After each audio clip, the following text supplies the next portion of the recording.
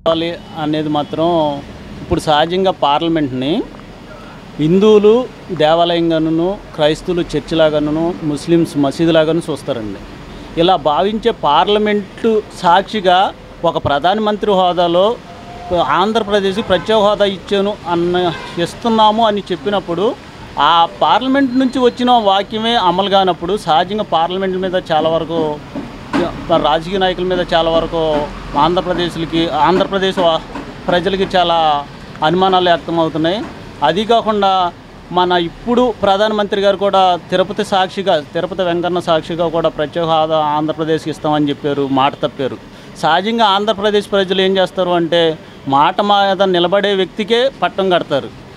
ఇంతకుముందు కూడా ముఖ్యమంత్రి గారు చంద్రబాబు నాయుడు గారు అనేకమైన పథకాలు ఇస్తాను అని చాలా వాగ్దానాలు చేసి ఏది నెరవేర్చకపోవటం వల్లే ఇంతకుముందు రాజశేఖర రెడ్డి గారు మాట అని ప్రతి మాటనే నెరవేర్చాడు కాబట్టి అతని కొడుకు కూడా అదే మాట మీద నిలబడతాడనే ఉద్దేశంతోనే ఆంధ్రప్రదేశ్లో జగన్ సార్కి ప పట్టం కట్టారు.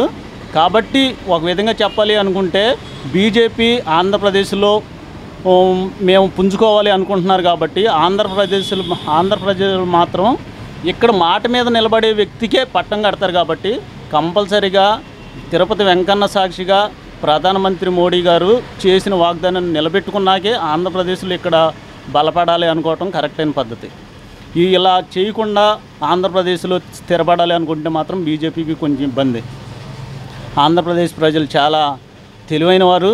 ఇక్కడ కంపల్సరిగా మాట మీద నిలబడే వ్యక్తికే పట్టం కడతారు. కాబట్టి ఆంధ్రప్రదేశ్లో బీజేపీ పుంజుకోవాలనుకుంటే కంపల్సరీగా ప్రత్యేక హోదా ఇవ్వాల్సిన అవకాశం అయితే చాలా ఉంది. ఇది.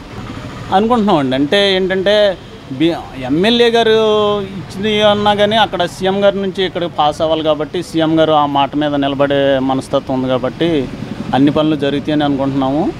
అది ఎమ్మెల్యే గారు కూడా అందుబాటులో ఉంటారు కాబట్టి ఆటోమేటిక్గా అన్ని పనులు నెరవేరుతారని అనుకుంటున్నాం. ఈ వీడియో గనుక మీకు నచ్చినట్లయితే లైక్ చేయండి షేర్ చేయండి. మరిన్ని వీడియోస్ కోసం మా ఛానల్ను సబ్స్క్రైబ్ చేయండి.